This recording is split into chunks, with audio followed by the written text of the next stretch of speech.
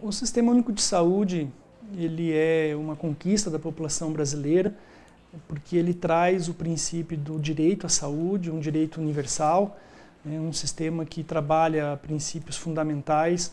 é, a partir da Constituição, da universalidade, da gratuidade, da integralidade, e ele rompeu a barreira é, desse direito quando, ao reconhecer esses princípios, é, anteriormente ao próprio SUS, só tinha direito à assistência à saúde é, aqueles indivíduos que tinham carteira assinada, que eram é, fichados nas empresas e que tinham, então, é, um sistema previdenciário que cobria. É, a Constituição brasileira, o movimento sanitário, estabelece, então, a saúde como um direito de todos e um dever do Estado, né, dá um direito a, esta, a este princípio fundamental, e a partir daí, então, a população brasileira passa a gozar dos privilégios, dos benefícios eh, de um sistema de saúde que se articula para garantir o direito à saúde no Brasil. Não, todo cidadão brasileiro tem o direito à saúde, de acessar aos serviços que o Sistema Único de Saúde oferece, independente de classe social, de renda, de cor, de credo, enfim, não há nenhuma distinção. Né? As portas das unidades do Sistema Único de Saúde estão abertas a qualquer indivíduo, independente dessas características e é um sistema de saúde que, junto aí com poucos países do, do mundo, né, com populações pequenas ou populações grandes, né, que é um sistema universal, ou seja, todos têm direito né, aos, aos, aos, prestação de serviço, à carteira de benefícios do SUS. O Sistema Único de Saúde está eh, organizado para condução da política de assistência farmacêutica, é uma política criada em, em 2004 aprovada pelo Conselho Nacional de Saúde, é uma política que vem se articulando com a política do Complexo Industrial da Saúde, com a política de ciência, tecnologia e inovação. E o Brasil hoje oferece, por meio do SUS, é, nas unidades de saúde, articuladas com o, o governo, os governos municipais, os, os, governos estaduais e também a União, uma, uma relação nacional de medicamentos essenciais, compostas aí de 844 medicamentos. É, esses medicamentos eles é, se expressam na, na, na, no direito de todos a esses medicamentos. É, é uma lista que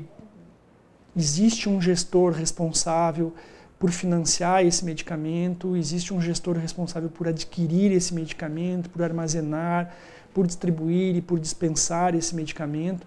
Então é uma lista que é, em todos os, os lugares onde o SUS é, oferece os seus serviços, é, esses medicamentos fazem parte, então, de, de, do rol de medicamentos que, que está à disposição da população. Então, é, a, a diferença pode ocorrer onde em determinado estado, determinada região do Brasil, né, você não tem no perfil epidemiológico aquela doença, então não vai haver aquisição desse produto para que ele não fique lá indo a, a possibilidade de ter algumas perdas mas há necessidade de um entendimento de que essa lista é uma lista para o Brasil e que se expressa dentro das unidades da federação, dos municípios, a partir do perfil epidemiológico dos municípios para que esses produtos eh, estejam disponíveis. Né?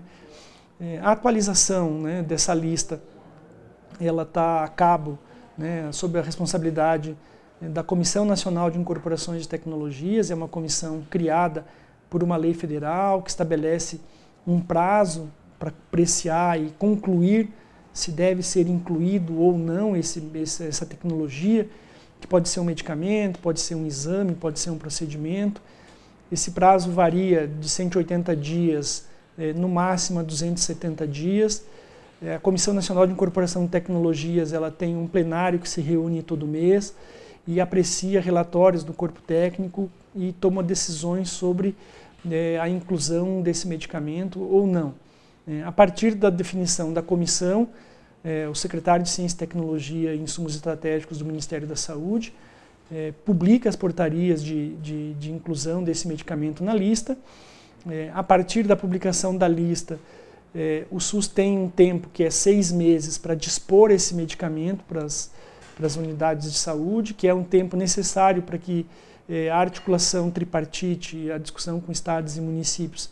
é um tempo suficiente para discutir é, onde esse produto vai estar alocado, se é na atenção básica, se é na média complexidade, se é na alta complexidade, que características tem esse produto, quem vai pagar a conta, quem vai comprar esse produto.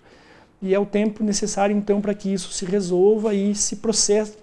proceda a compra, uhum. né, e o tempo para que depois ele esteja disponível na, é, nas unidades de saúde do Sistema Único de Saúde. É uma lista que está sempre atualizada, a Conitec se reúne mensalmente, aprecia vários pedidos de incorporação, de inclusão,